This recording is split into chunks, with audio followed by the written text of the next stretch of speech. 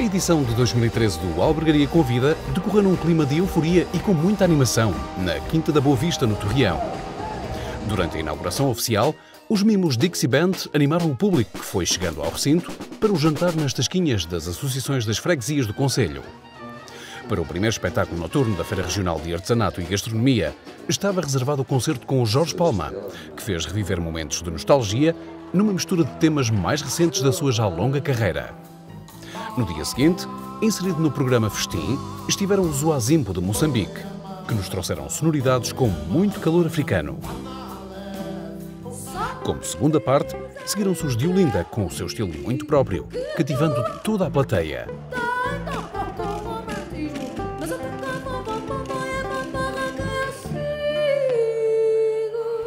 O terceiro dia de espetáculos foi proporcionado pela banda albergariense Skyfo e pelos The Gift. A Quinta da Boa Vista assistiu uma verdadeira enchente para verem in loco o porquê dos The Gift serem uma das bandas nacionais que conseguem levar mais público aos espetáculos. Os Azeitonas, após sete anos do seu primeiro grande concerto ao vivo neste preciso local, voltaram à cena com um repertório maduro e energético que contagiou toda a assistência. Durante o fim de semana, houve ainda a animação de tasquinhas durante a tarde com a Escola de Samba Unidos de Vila Régia e com o grupo de animação liderado por João Gentil.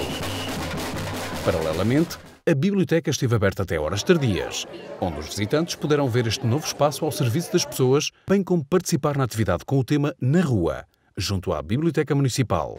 Mesmo sendo uma atividade com entradas gratuitas, é de registrar a enorme afluência de público que, durante todos os dias, marcaram presença em massa, nesta que é uma iniciativa que cada vez congrega mais visitantes e que promove a importância do convívio entre cidadãos de todo o Conselho.